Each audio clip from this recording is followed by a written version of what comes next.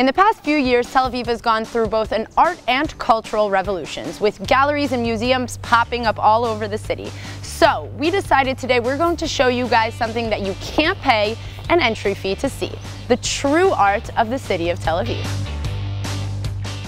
All right, so I teamed up with Evyatar, the founder of B Tel Aviv Tours. He took me around Nachalat Binyamin to show me the best street art and graffiti around.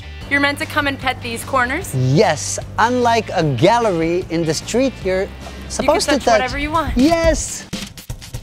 So Nachalat Binyamin recently just got recognized as a street museum.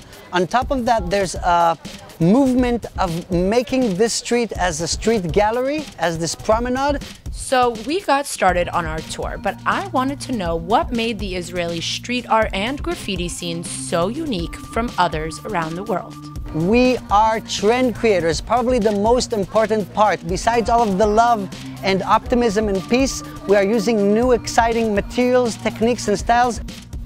And we made it to our first and one of the favorite stops on the street tour.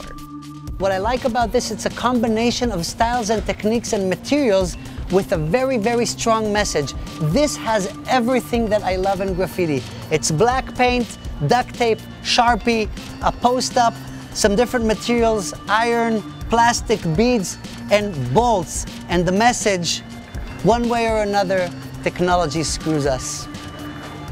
How cute. The best part about graffiti is that you can be whoever you want. No one needs to know. This guy is an ultra-Orthodox Jew by day and by night a graffiti artist. He breaks all presumptions, all judgments, all conceivements you might have about graffiti or ultra-Orthodox Jews and what this guy stands for, that's the real thing. He's taking a huge risk about his life and his family and his culture and his beliefs, all of that to bring to the streets different contexts, messages, and art. I definitely had a little fun of my own on this street tour. I have a crazy obsession with giraffes.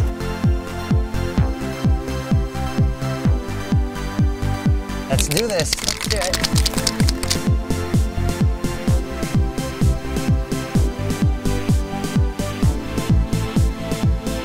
Reporting for ILTV, I'm Emanuelle Kadosh.